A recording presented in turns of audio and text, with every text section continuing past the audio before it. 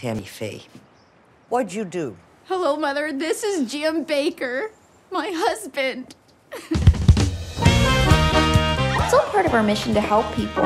Anyone who's hurting or they feel like they've been left out, God has a plan for us. What'd he tell you to do this time? Jesus keeps a taking me higher and higher. Jim will preach, and I'll sing. Higher and higher. God does not want us to be poor. Waterfall of pleasure. Now God has a voice in this fight. Who's he fighting? Liberal agenda, homosexual agenda. Faith isn't political. You can't talk to him like that. Jerry Falwell is a powerful man, Tammy Faye. She's a firecracker, Jim. If everyone watching could double their pledge just for one month, God loves you. He really does. Not doing anything wrong, though. Is that a question? Tammy and I are undergoing the most vicious attacks.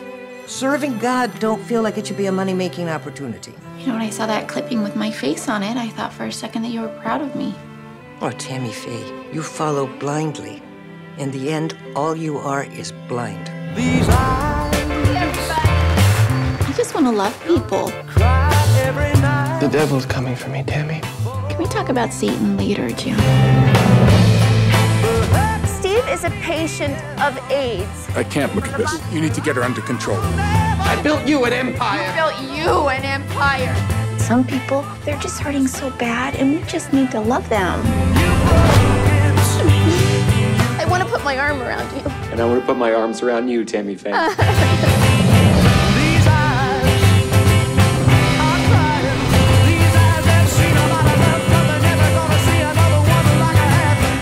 Forward looking in the rear view mirror of my life. This is who I am.